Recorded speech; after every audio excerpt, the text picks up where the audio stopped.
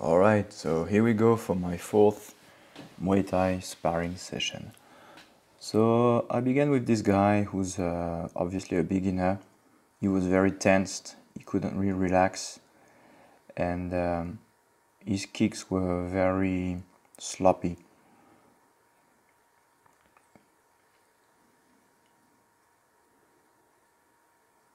You can see that he keeps he keeps kicking in an upward direction. And he doesn't pivot on uh, on his foot. He's completely open. Lunges forward.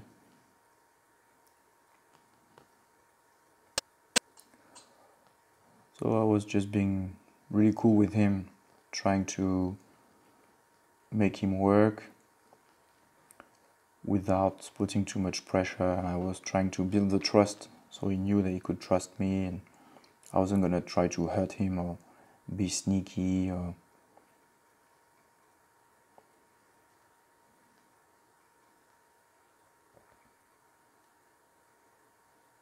bit of Thai walk. I'm a bit frustrated with this video because uh, I, I've had to delete quite a lot of the footages because um, a lot of time the image was out of focus and also there is this problem that when we move around we found ourselves off camera very often. That was a nice high kick.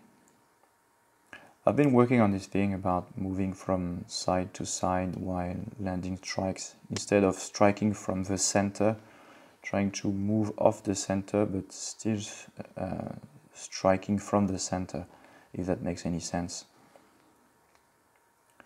It's like my hands remain in the center so the the trajectory of the strike is still sort of centered but my head is off the center line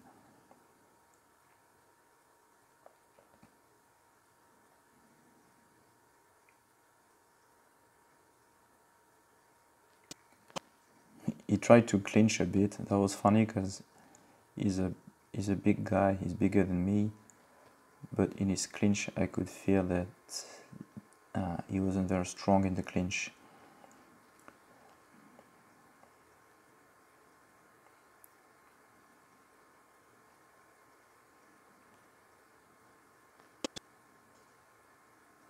Alright, so here I'm with my friend Remy uh, we've been sparring a bit together, so this I think this is like the third third time that we spar, and uh, it's good to spar with the same person because you you build a relationship, you get to know each other, and so you can be, a, you can see here the intensity is like way higher than with the previous guy, and it's even higher than in the previous sparrings. Because we kind of know each other and the good thing also is that it forces us to make progress because now he knows quite a, a few of my tricks and he's prepared for it. Like this one that I just did which is a switch that sort of uh, is like a fake for a switch kick. Because when you switch um, you expect a left kick. So what I do is that I do a switch and then go back to a to a right kick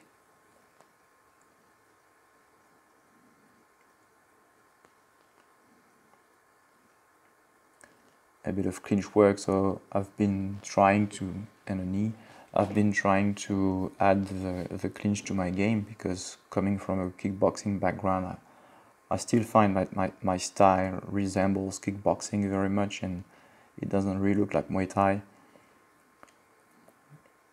It's getting there. I mean I've been catching kicks a bit more and using the clinch. That side kick that's definitely a good weapon. I mean, I've been landing that kick consistently. Oh, that was nice. Boom. the intensity of the strikes is a little bit higher than previous times.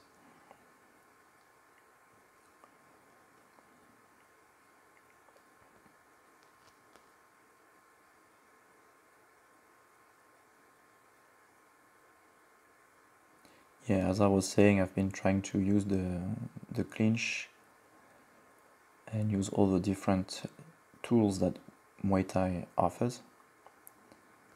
I still gotta work on the elbows, but uh, I'm waiting for my elbow pads to come by mail. I got me some uh, Yokkao Thai pad, uh, not Thai pads, Yokkao elbow pads, Thai walk, as I call it.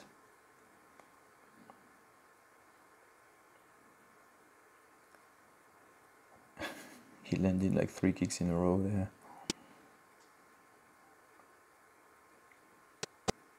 I've also realized that I've got my eyes off the target very often and as soon as I start looking at the target more I'm uh, I increase my uh, my ratio of successful strikes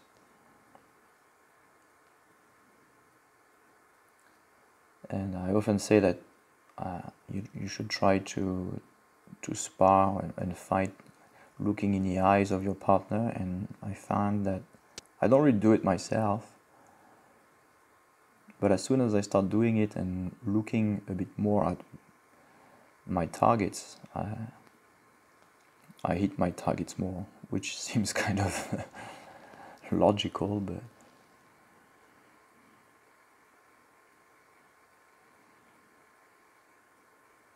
been using some kind of shuffle.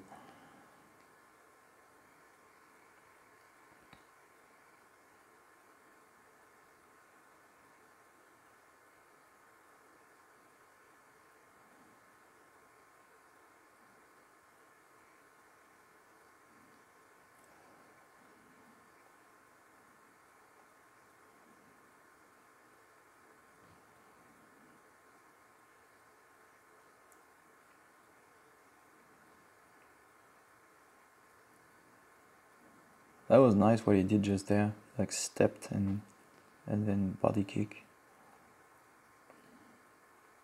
That's another thing that I I do quite well. I think that is when I miss a kick, just keep spinning and then throw a uh, either a spinning hook kick or a, uh, a spinning side kick or something like that.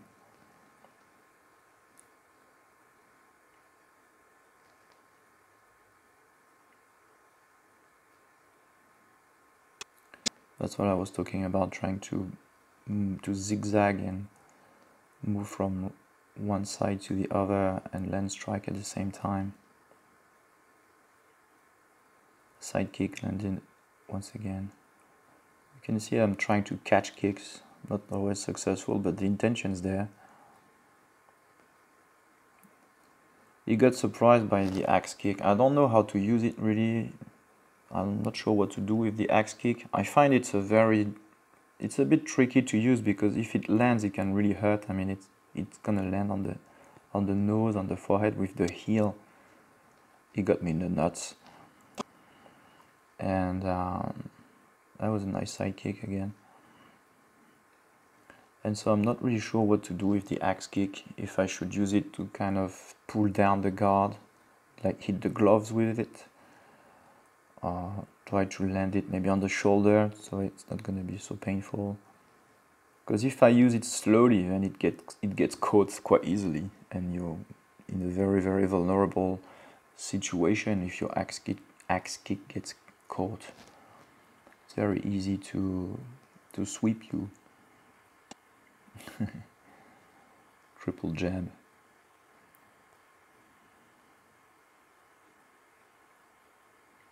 So the funny thing was between each round we were like, okay, let let's go easy now. Let's go easy because we are we are burning our, ourselves out.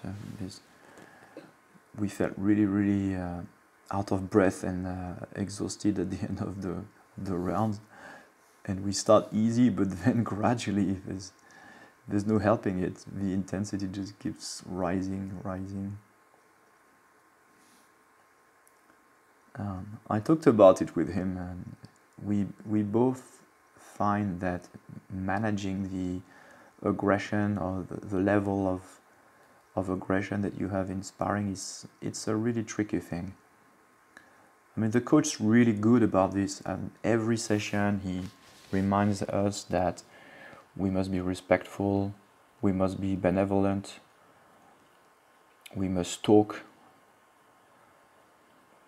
And he's right, but in the heat of the action, sometimes, uh, you know. But I totally agree with that. I mean, I almost, uh, I was going to make a video about that too. That uh, it's very important to talk during sparring, and not not let um, a situation um, escalate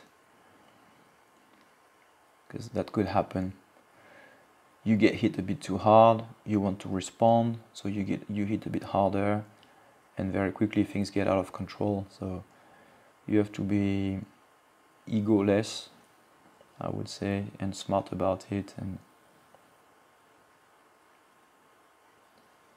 and maybe take a breather walk a few a few steps and then get back to it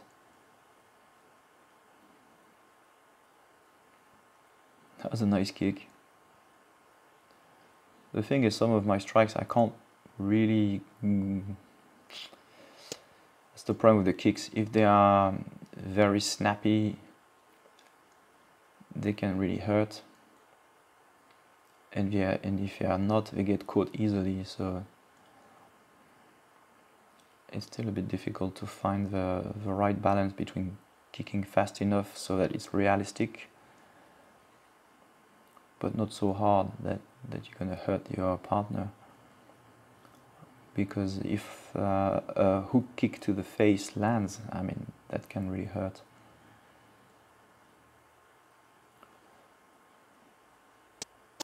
Maybe landing it with the sole of the foot might, might be a bit better, a bit less painful.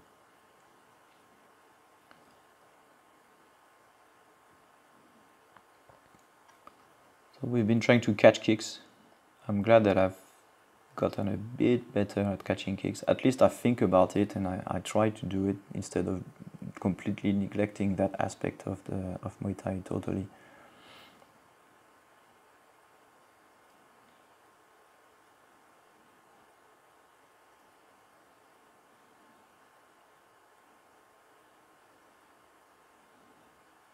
Those are good exchanges. A shame it's a bit far away from the camera.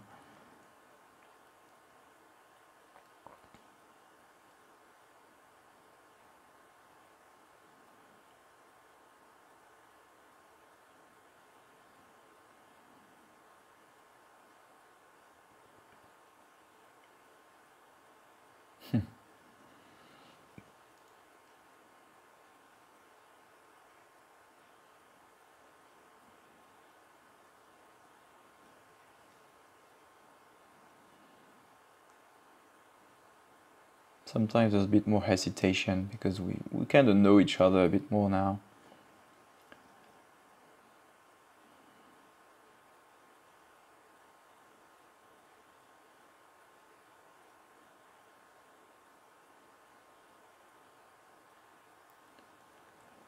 He tries to land that big cross very often and uh, he actually landed that cross quite a few times and every time I was like I see it coming and yet don't know what to do about it.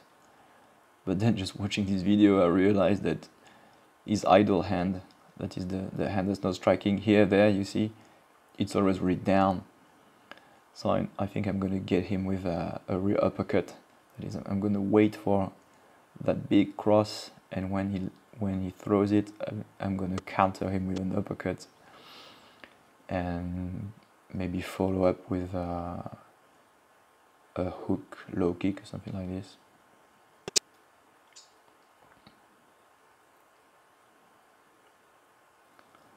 So on that day I, I sparred only with him actually, yeah.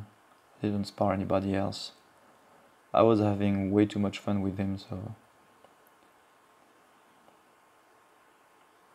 I think we are also kind of a, a right match for each other. We kind of push each other, make each other progress. Okay, I think that's the end of the video. We went for a little bit of uh, English boxing, which I don't really like because uh, uh, I like kicking way more than I like punching, but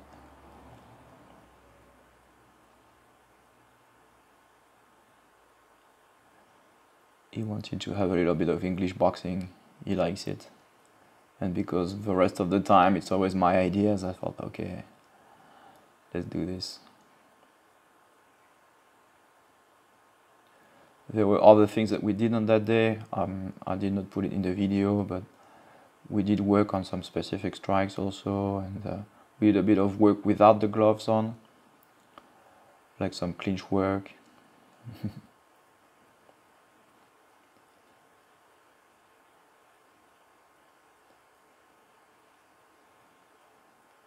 Alright, well that's it for today. Hope you enjoyed it. I'll see you around. Take care. Os.